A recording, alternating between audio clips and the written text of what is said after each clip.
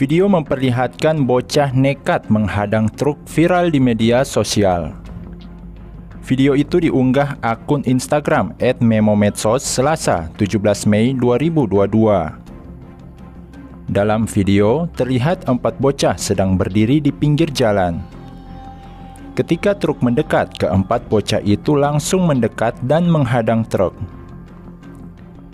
Bahkan salah satu bocah terlihat menendang bagian depan truk. Beruntung, truk tersebut berhasil berhenti dan bocah-bocah tersebut tak sempat tertabrak. Tidak diketahui pasti kapan dan di mana video itu direkam. Namun, aksi para bocah tersebut membuat warganet geram.